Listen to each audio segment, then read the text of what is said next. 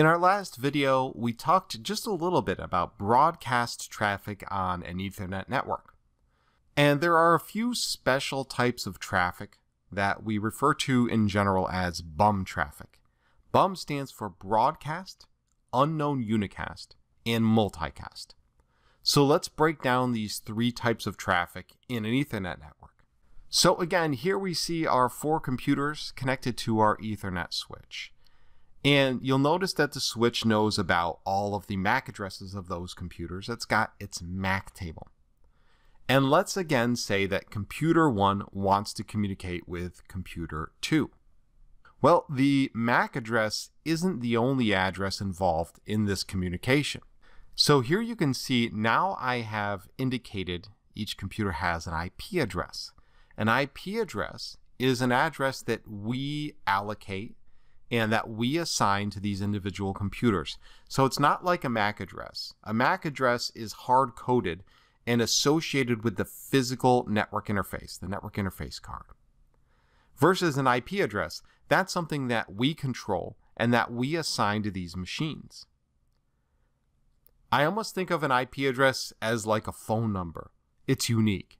There are no two computers on this network with the same IP address. And if you think about phone numbers, if two people had the same phone number, well, when you dial that phone number, who would get that call? It doesn't work. And we can't have IP address conflicts either. So if we want our network to work, every single computer needs a unique IP address. And that's the address that computer programs use to talk to each other. So for example, let's say that computer one needs to send a file it's trying to transmit a file and establish a connection to computer 2. So computer 2 is going to be the destination. Well, in order to establish that connection, computer 1 needs to know the IP address of computer 2. And let's just assume that it does. So let's assume that computer 1 knows the destination IP, but it does not know the destination MAC.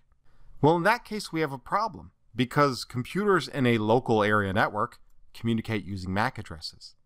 They have to know each other's MAC address in order to communicate. And so the result of this is going to be computer 1 is going to generate a request. It's going to send out what we call an ARP request to the switch. And the ARP request is a broadcast. And so an ARP request is generated by the source computer and it is a Layer 2 Ethernet broadcast used to discover the MAC address associated with a particular IP. So essentially, Computer 1 is sending out a Layer 2 broadcast, which hits the switch, and the Layer 2 broadcast basically says something like this I need to send a frame, an Ethernet frame, to the computer that owns IP2. Who is it? Please tell me your MAC address. And because it's a broadcast, it is flooded out every single port on the switch. And so computer 3 receives it and it sees this ARP request and it says, well, somebody's looking for the owner of IP address 2. That's not me. Same thing with computer 4. It says, I do not own IP2. But it's also repeated out this port as well. And this computer says, oh, somebody's looking for IP address 2. That's me let me send an ARP response to the requester. And so that ARP response is then received by computer 1 and computer 1 can now update the internal ARP table for computer 1. And so the ARP table of the computer, and I'll show you my ARP table in just a moment on my computer, but the ARP table is basically a table full of these associations. It's saying, hey, if I need to go to IP address 2, I send the Ethernet frame to MAC address 2. So it's tracking which IPs are associated with which MAC addresses. And so now that it's discovered the destination MAC address that it needs, it can send out a layer 2 unicast, which will hit the switch destined for MAC 2 and the switch will look at its MAC table and it'll say, oh, for MAC 2, I forwarded out this port. And now the two devices can communicate. That's an example of a broadcast. So on my computer, I can go to the command prompt and I can type in ARP space dash A and it will display the ARP table for my computer. And you can see here basically all it's doing is it's showing me IP addresses and the MAC addresses associated with them. So each device on my network has a MAC address associated with every single physical adapter, and they also each have an IP address. That's the purpose of the ARP table. And by the way, this ARP space dash A command can also be used in Linux or on a Mac. So a layer 2 broadcast is basically any Ethernet frame that is sent to the switch that is sent to a specific address called the broadcast address.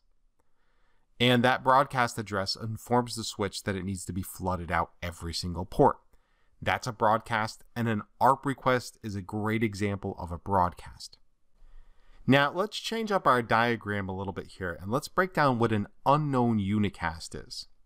So here you can see I now have two switches, and two computers are connected to one switch, two computers are connected to the other switch. And in the middle, I have what we call an inter-switch link.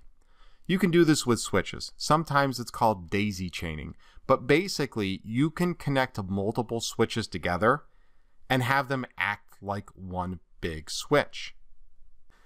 And so in this case, it's possible that let's say computer 1 sends an Ethernet frame that is destined for MAC address 3 and the Ethernet frame arrives at this switch, and this switch says MAC address 3, I don't know about that one. I don't have it in my MAC table. I don't know where to send it. This is what we call an unknown unicast, where the switch port doesn't know which port a MAC address is on. So it's got this frame for a certain destination MAC, but it doesn't know where to send it. Well, in the case of an unknown unicast, the switch will respond by saying, I don't know where MAC 3 is. Let me flood this out every single port, including sending it to the other switch. And so what the switch is attempting to do here is to discover which port is MAC address 3 reachable through.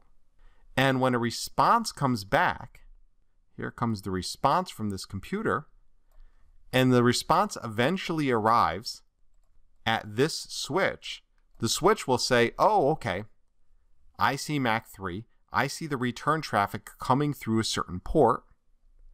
I will update my MAC address table to now reflect that that MAC is reachable through that port. That's what we call an unknown unicast, and that's how a switch discovers which computers are connected to which port. And essentially the unknown unicast is resulting in basically a broadcast. Right? So this is one of those special types of traffic where there's one source, but the resulting traffic is delivered out many ports. And so what all these different types of bum traffic have in common as they are multi-destination.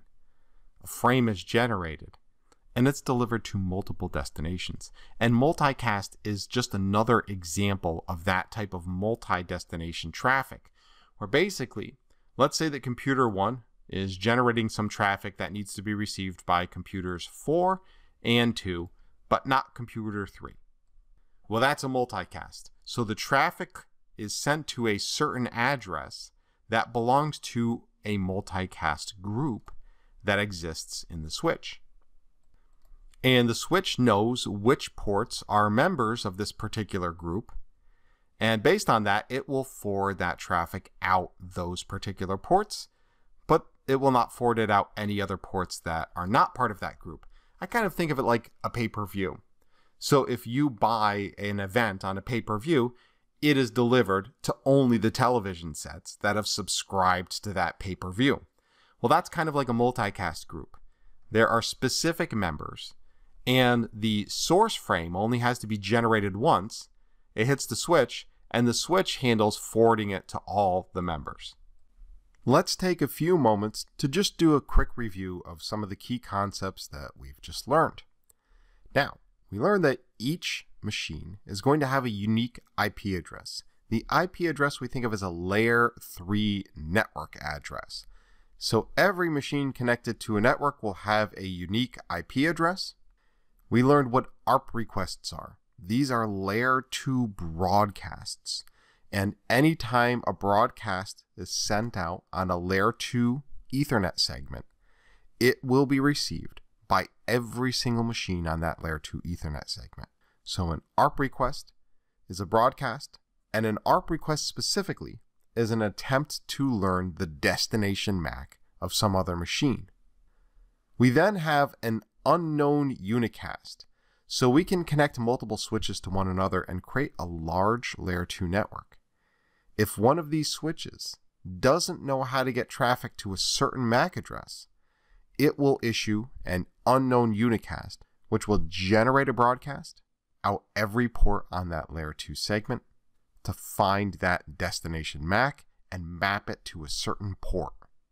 And then finally, we have multicast traffic, our third type of multi destination traffic, where a single source is sending some sort of traffic out to a specified group of recipients.